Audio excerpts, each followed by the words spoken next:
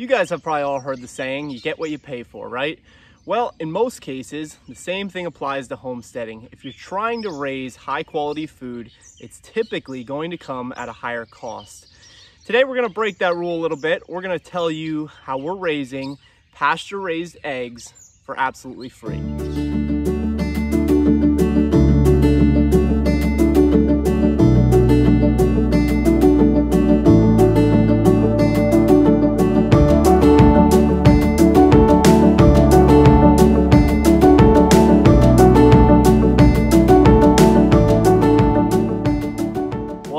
On guys? Good morning. Welcome back to the farm. Beautiful Saturday morning here in Pennsylvania. I had to check my watch. It's still May. Um, end of May, May 25th. And today, like I said in the intro, we're gonna show you how we're producing pasture raised eggs at absolutely zero cost. So yesterday, um, and this is where this video is actually stemming from, my wife and I um, stopped in at Whole Foods, um, picking up a couple things obviously we're not raising everything here on our farm. So picking up a couple grocery items and I just happen, you know, I always check out prices on, on meat and kind of compare basically what, you know, the higher quality meats are going to be, higher quality eggs. So I just so happen to walk by the egg um, section, the refrigerator section, and I see pasture raised eggs, 10.99. Yes, I said that, 10.99. So you could easily go ahead and say, you know, Whole Foods, you know, they're just usually more expensive in general. That is true, but like I said in the beginning, you get what you pay for. They typically will offer a little higher quality items, um, at least for most things. The egg carton did say um, organically, regeneratively raised, um, pasture raised, and so forth. So I don't doubt that it was a pretty good product, but for $10.99, I mean, that's just craziness, guys. That is absolutely insane for a carton of eggs. So let's dive into how we're raising eggs. Um, and these are as close to organic as you can possibly get without probably calling them organic. Um, and I'll tell you that, I'll tell you why here in a second. Um, but let's dive in. So there's two key components that are gonna go into a high quality egg and most importantly, a low cost egg. So I'm gonna talk about how we're doing it for free, but at the very least, this should help you drive your cost down. And it's not exactly rocket science. In fact, the process itself is very simple.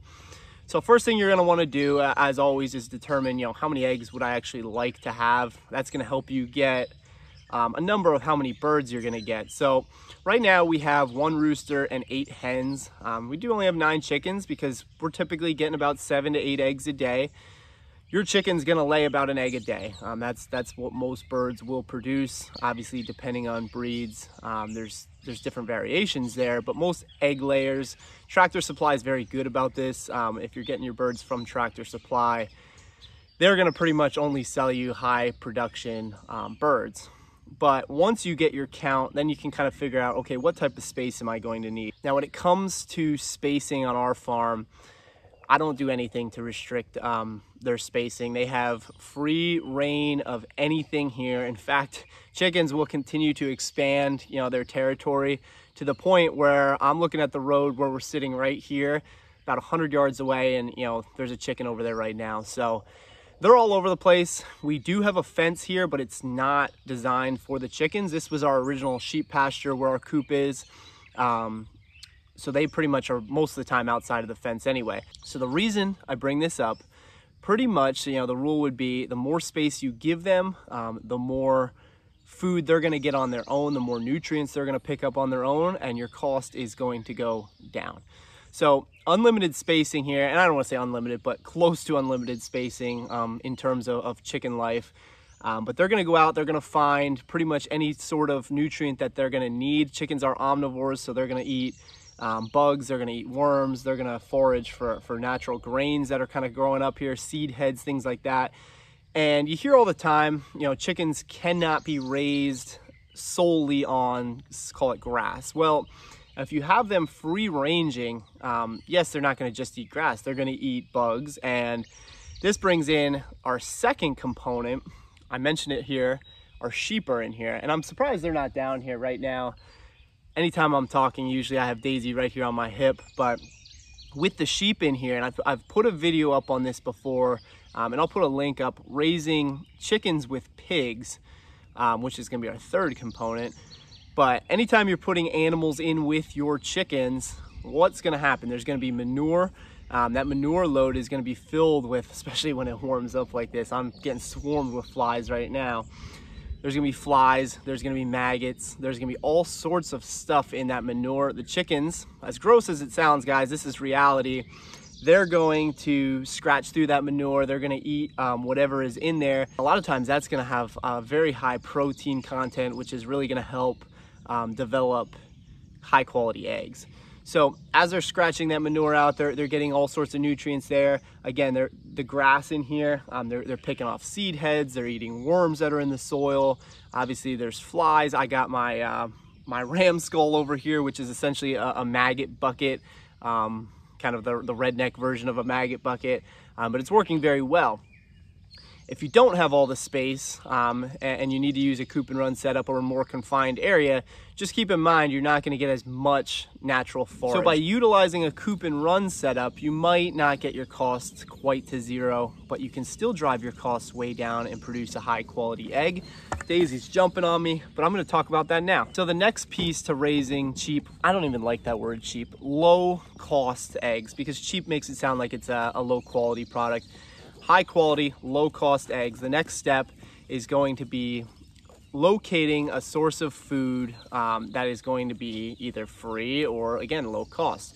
So in our instance, what we're doing here, and I didn't say this in the beginning, guys, I don't feed these chickens anything. I feed them absolutely zero um, grain, zero chicken feed. I'm not going to the box stores and picking up chicken feed feed them absolutely nothing. I don't even have a feed dish um, in this pasture. So what I'm doing um, in turn are pigs. We've sourced uh, free brewer's grain um, from a local brewery. So when I feed the pigs, which are right over that way, the chickens come running. They're gonna eat some of that grain. Like I said before, chickens are gonna use some grain. So this is their grain source. And this is why I also said these aren't 100% organic although they are very, very close to it. The amount of grain that they're actually eating there, um, call it almost nothing, but it's just a little bit of supplemental grain. The pigs are gonna eat up most of that, and then your chickens are gonna, you know, pick up whatever they don't get. So that's gonna help, um, again, it's gonna help give them their grain intake, but for the most part, you know, again, they're gonna forage in this pasture and get their nutrients that way. So you may be wondering, well, I have no use for brewer's grain. I don't have pigs. I'm a, a, small homesteader just starting off. You don't need to get brewer's grain. That's our example. And you know, everything I kind of show on our channel is how we're doing it. You know, it's not a, a one-way model of, of doing things. But the key is we're sourcing that stuff for absolutely nothing. So again, zero input to these chickens. And the fact that I don't have to feed them just saves us time. We got so much going on as Daisy is just jumping all over me here. Um, we got so much going on though that I really, you know, anything I can cut out or automate, that's what I'm going to do.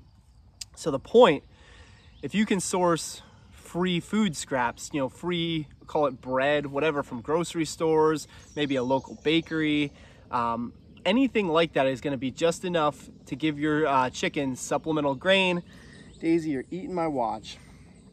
Supplemental grain, and it's gonna be just enough for them if you go without feeding them anything, and I've I've done this, you know, before I got a hold of the grain um, and, before I had the pigs here, you're not gonna get the best quality. You know, they're definitely gonna need a little bit of grain, um, but you'd be surprised how little they actually need in the grand scheme of things if you give them enough pasture. So to sum it all up, you know, it's a pretty simple formula you can take from this. The more pasture you give them, the more space, the less input. Obviously, if you restrict their space more and more, you're gonna need to put more and more in, but that shouldn't turn you away from getting chickens for your first time. Again, ask your friends, your family, any type of food scraps, anything you would put in a garden or a compost pile, give to your chickens. It's gonna give them extra nutrients. Um, if you get some rice or pasta, um, stuff that people will um, throw out, that little bit is all they need. You know, they really don't need that much.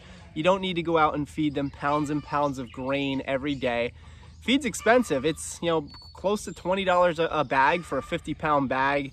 So let your chickens forage, utilize scraps, utilize your resources, and you can achieve a zero or at least a very low cost egg. And last thing I'll remind you, this is the way we're doing it. It might not work for everybody. You also might not want chickens running in your yard or in your driveway or whatever it is. We're in a pretty remote area, so we're able to get away with it. Um, but I completely understand the, the, the restraints um, that some of you may have. But again, the, the key here, try to source some free food, try to source some free grain. Daisy, you're nuts um, and let them out on whatever pasture space you have and you're gonna have better results. So while you might not get to zero, you're at least gonna drive your costs down. You're gonna stop paying $10.99 for high quality eggs. I would challenge Whole Foods any day that our eggs are equally, if not better, um, in nutrition content, but that's for another time, guys. So thanks for watching us. We appreciate you following along. Anyone um, that is unfamiliar with our channel, definitely consider hitting that subscribe button. You can see our crazy sheep here. So we do a lot of sheep content, chickens, um, pigs, anything homesteading related projects, you name it, reviews. And we're gonna go ahead. It's early yet, so we got a lot of work ahead of us for the day. Again, guys, thanks for watching. Have a great rest of your day.